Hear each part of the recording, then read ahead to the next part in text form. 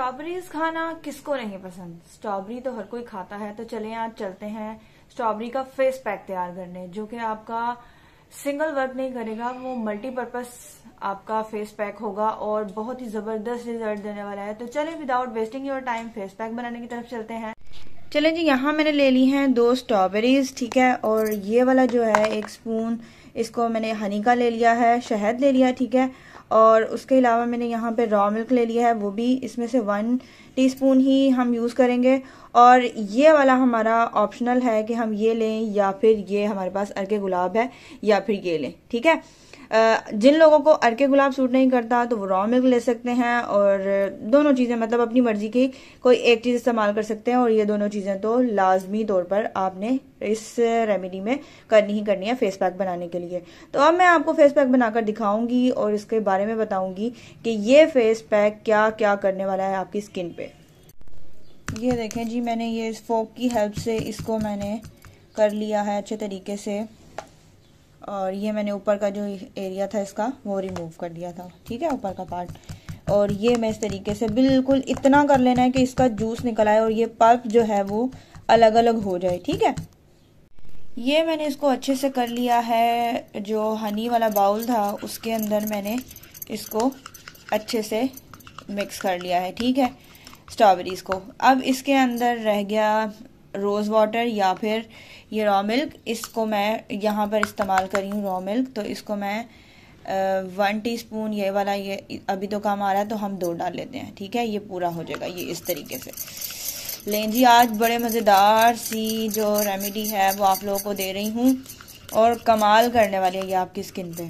चले जी face pack हो गया हमारे पास, ये रेडी आप लोग ये देख सकते हैं, ये ये, इसकी कंसिस्टेंसी चेक करें। कितना ज़बरदस्त ये काम करने वाला है। ये हो गया रेडी अब बात करते हैं कि ये आपकी स्किन पे क्या वर्क करने वाला है और क्या ज़बरदस्त मज़ा आने वाला है इसको इस्तेमाल करने के बाद।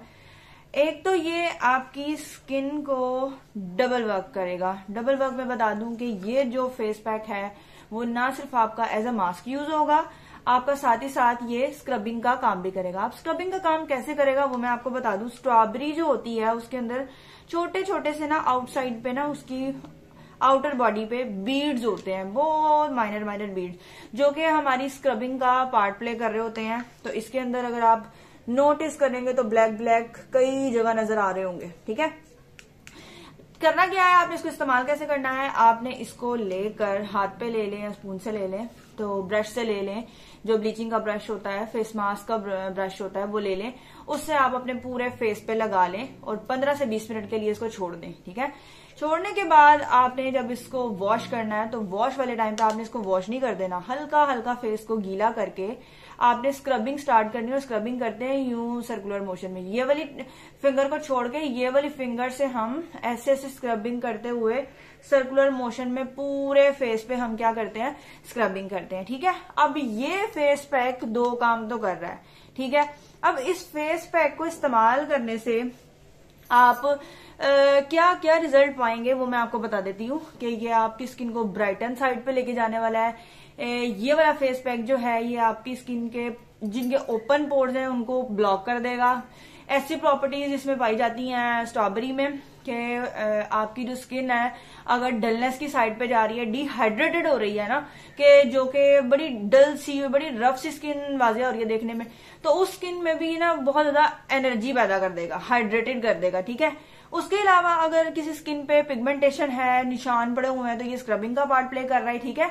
तो स्क्रबिंग के पार्ट से क्या होता है कि आपकी जो डेड स्किन है, वो आहिस्ता आहिस्ता रिमूव हो रही होती है और मज़े की बात ये टैनिंग को भी रिमूव कर रहा होता है। क्योंकि मैंने आपको बताया जी, इसके अंदर मौजूद है स्क्रबिंग के छोटे छोटे बीड्स ठीक है? तो स्क्रबिंग तो फिर ज़ाहिर सी बात है कि ये काम करती है। स्क्रबिंग का मैंने आपको मेथड भी बता दिया और इसकी मैंने आपको प्रॉपर्टीज़ भी बता दी कि भाई ये काम क्या क्या करने वाला है। तो देर किस बात की? जल्दी से ये फेस पैक तैयार करें और शादी का वैसे ही सीज़न चल रहा है, इसको तैयार करें और ये बता दूँ कि वीक में आपने अगर एज अ स्क्रबिंग इसको यूज़ करना है तो ट्वाइस अ वीक यूज़ करना है और अगर आपने एज अ मास्क यूज़ करना है तो आप डेली बेसिस पे भी कर सकते हैं, इसमें कोई इश्यू नहीं है।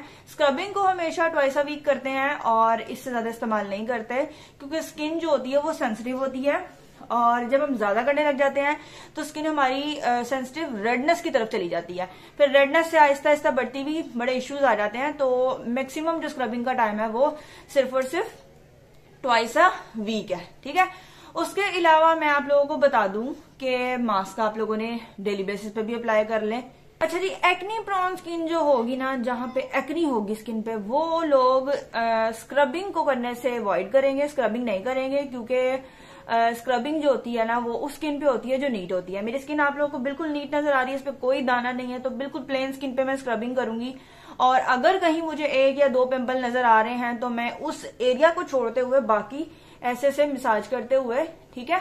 मैं स्क्रबिंग कर लूँगी। लेकिन अगर जिन लोगों की बहुत ज़्यादा शदीद वाली अग्नि है कि कोई हिस्सा रह ही नहीं गया कि जहाँ पे आप इजीली इस तरह स्क्रबिंग के लिए फिंगर्स को घुमा सको तो वो लोग स्क्रबिंग नहीं करेंगे, ठीक है? स्क्रबिंग से एक्नी जो है वो बढ़ जाएगी। सो एक्नी वाले लोग सिर्फ़ एज अ मास्क यूज़ करें, लगा के पूरे फेस पे और जब वॉश करें तो इतना ज़्यादा ज़ोर से रब करके नहीं वॉश करें। आहिस्ता आहिस्ता यूँ करके बस उसको वॉश करें ताकि उनकी एक्नी को डिस्टर्बेंस फील ना हो और वो बढ़ ना जाए, ठीक है? सो so, एक्नी के लिए भी मैंने आप लोगों को बता दिया। प्लेन स्किन पे आप स्क्रबिंग के लिए भी इस्तेमाल करें मास्क के लिए भी इस्तेमाल करें। चलें जी फेस पैक मैंने स्किन पे लगा लिया है और स्किन पे लगाते हुए ऐसा ज़बरदस्त मज़ेदार फील हुआ है। इतना सॉफ्ट अभी लगाते हुए फील हुआ है स्किन पे। तो जब इसको रिमूव करूँगी तो स्किन कितनी प्यारी होने वाली है ज़बरदस्त। और कमाल मज़ा आने वाला है। आप लोगों को भी रिज़ल्ट जैसा भी मिले ना, आप लोगों ने कमेंट में बताना है। स्किन इतनी प्यारी, ज़बरदस्त फील हो रही है और इसको मैं रिमूव करके आप लोगों को रिज़ल्ट भी दिखाती हूँ अभी थोड़ी देर में। कमाल, मैं कह रही हूँ, ओए होए वाला रिज़ल्ट है। ज़बरदस्त, मेरी स्किन ऐसी ज़बरदस्त सॉफ्ट और मॉइस्चर हो गई है। जैसे मॉइस्चर लॉक हो जाता है ना स्किन में, और किसी चीज़ की ज़रूरत नहीं पड़ती है। मैंने अभी अभी फेस वॉश किया और साथ ही मैंने आप लोगों को दिखा रही हूँ कितना कमाल ज़बरदस्त इसका रिज़ल्ट है। आप लोगों के सामने है। देखें बिल्कुल भी स्किन क्रैकी नहीं फील हो रही और स्किन हाइड्रेटेड है और मज़ा आ गया है मेरे तो इस्तेमाल करके। उसके अलावा मैं आप लोगों को जाते जाते एक और टिप दे दूँ। वो ये कि स्किन पे कभी भी डायरेक्ट स्क्रबिंग करो मास्क करो, कुछ भी करो। डायरेक्ट ऐसे ही टॉवल वगैरह से रगड़ रगड़ के नहीं करते हैं इसको ड्राई आपने लेना है टिश्यू और ये टैप टैप करके आपने इसको अपनी स्किन को ड्राई करना है. ज़रूरत नहीं है आपको बहुत ज़्यादा रगड़ने की, क्योंकि भाई स्किन नाजुक है, बहुत ज़्यादा सेंसिटिव पार्ट है आपकी स्किन आपने एक तो इसके ऊपर अप्लाई किया है कुछ ना कुछ और वो इस वर्क वर्कआउट से गुजरी है तो आपको टॉवल वगैरह नहीं यूज़ करना. आपने इस तरह टैपिंग करते हुए अपनी स्किन करना है। जितना अपनी स्किन केयर का स्किन का ख्याल रखेंगे, उतना ज़्यादा आप अपनी स्किन को हेल्दी पाएँगे, ठीक है? ये छोटी छोटी टिप्स हैं जिनकी हेल्प से आप अपनी स्किन को ग्लोई हेल्दी और मज़ेदार बना सकते हैं यार। मेरी तरफ़ से वाओ वाइस फेस पैक का रिज़ल्ट सो so, वीडियो अगर आप लोगों को अच्छी लगी हो तो वीडियो को लाइक कीजिएगा कमेंट कीजिएगा शेयर कीजिएगा और मेरा चैनल अब तक सब्सक्राइब नहीं किया तो चैनल को सब्सक्राइब भी कर लीजिएगा और इस फेस पैक को इस्तेमाल करके लाजमी कमेंट करके बताइएगा कि आप लोगों को इसका रिज़ल्ट कैसा मिला। सो so, चलते हैं नेक्स्ट वीडियो में। आप लोगों से मिलते हैं। अब तक के लिए हाफिज।